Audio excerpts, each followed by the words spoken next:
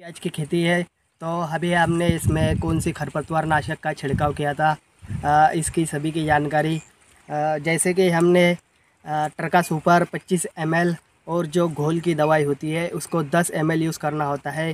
आ, तो किसान भाइयों आप यहाँ देख सकते हैं यहाँ पर ये गाजर घास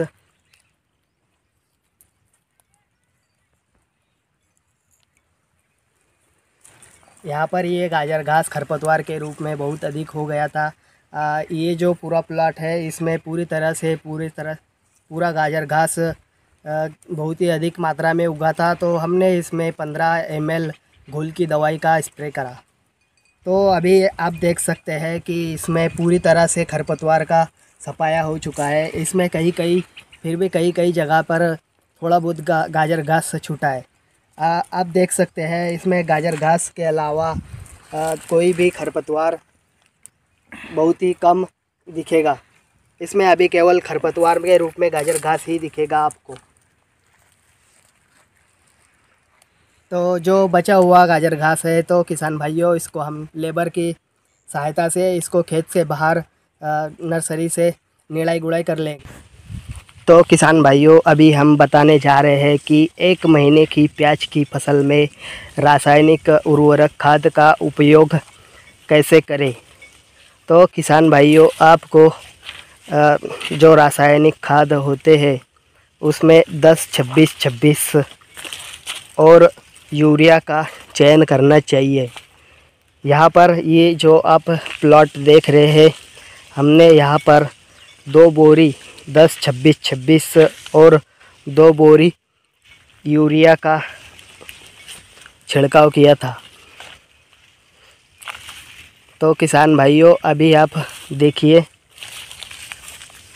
अभी इसको जो हमने जो बेसल डोस दिया था, उसका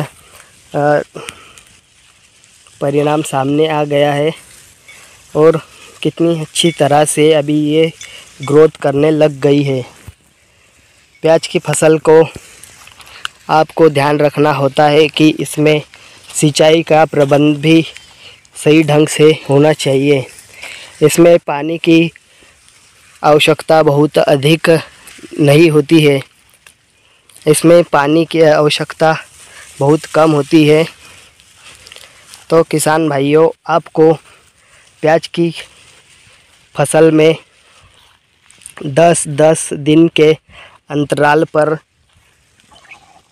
सिंचाई करना चाहिए। जैसे अगर आपने पहले नर्सरी ट्रांसप्लांट कर रही है, रखी है, और अब तो उसमें शुरू में करीबन तीन से चार दिन कंटिन्यू पानी देते रहे, ताकि उसके बाद उसमें जो प्याज के पौधे की जो जड़ होती है वो अच्छी तरह से सेट हो जाती है। उसके पश्चात आप उसमें पानी के जो सिंचाई होती है वो दस दस दिन के अंतराल पर सिंचाई करने की व्यवस्था बनाए।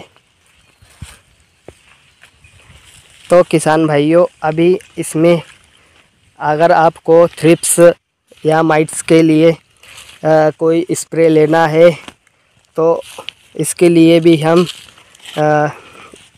नेक्स्ट वीडियो बनाएँगे, जिसमें हम स्प्रे के साथ में वीडियो बनाएँगे और आपको दिखाएँगे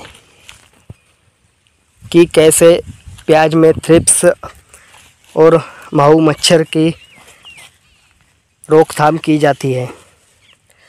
अभी फ़िलहाल इसमें कोई ज़्यादा समस्या नहीं है, फिर भी हम इसमें पहला स्प्रे करेंगे, क्योंकि इसमें जो थ्रिप्स होती है, उसमें थ्रिप की बढ़वार ज़्यादा ना हो। तो हमारे यूट्यूब चैनल के साथ बने रहे और प्याज की पूरी पूरी जानकारी प्राप्त कर, करते रहे। अभी के लिए इतना ही, किसान भाइयों, धन्यवाद।